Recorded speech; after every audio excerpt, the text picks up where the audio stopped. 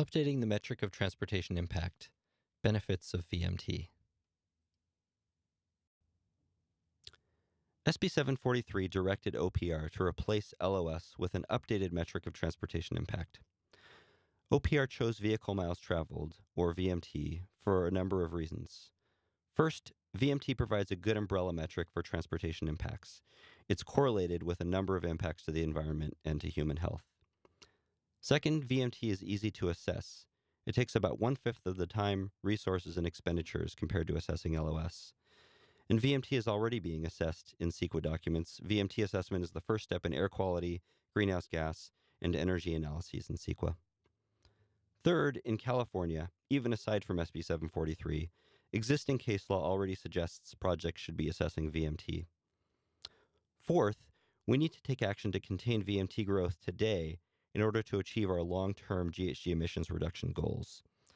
For example, when deep GHG emissions reductions will be needed in 2030 and 2045, we cannot decide then to move development to more central locations, to reconfigure streets to provide better connectivity, or to add walkable retail centers into large housing into a large housing development. Such features must be included now as those developments are being built.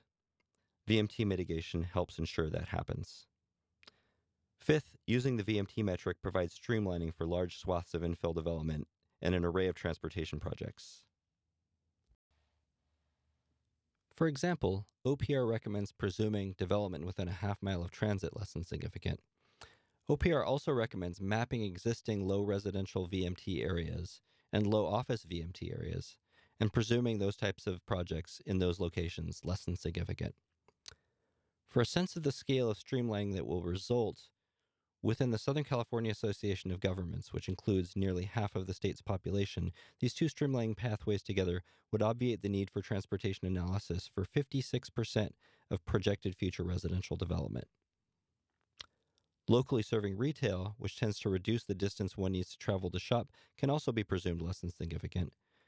Transit projects, which tend to reduce VMT, are also streamlined, as are bicycle and pedestrian projects. Livability enhancements and street safety improvements, such as road diets and traffic calming, are also streamlined. In the remaining cases, which are not eligible for streamlining and VMT assessments must be undertaken, the modeling is, again, approximately one fifth of the effort and cost of LOS modeling. Reducing per capita VMT will lead to substantial improvements in human health. California today sees over 21,000 premature deaths each year resulting from physical inactivity.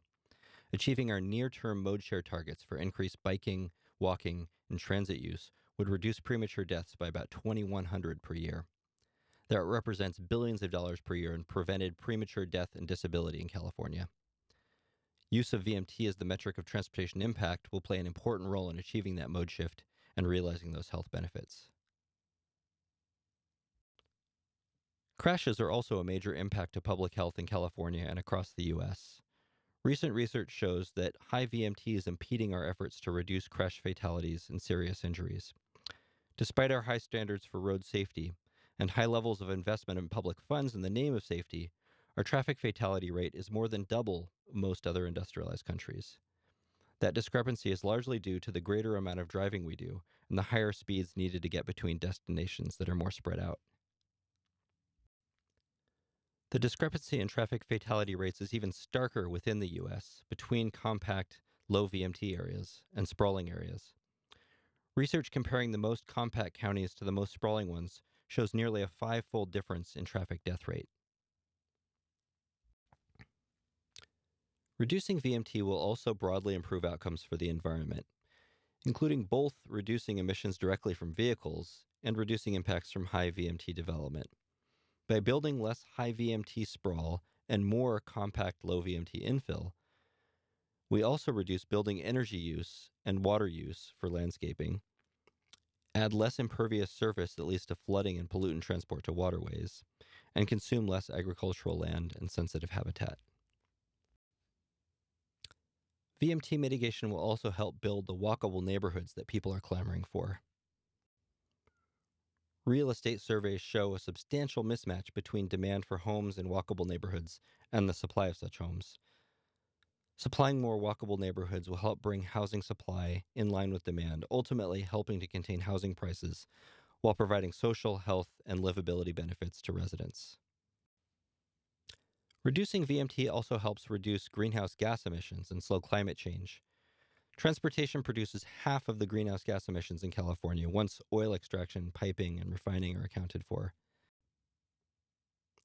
The California Air Resources Board has determined that all of the vehicle efficiency improvements, zero emissions vehicle deployment, and decarbonization of electricity that we might be able to achieve in the next few decades will not, by itself, be sufficient to achieve our science based emissions reduction targets. We also need to reduce VMT per capita. Our present approaches for doing so don't have us on track. The blue line in this graph shows CO2 per capita.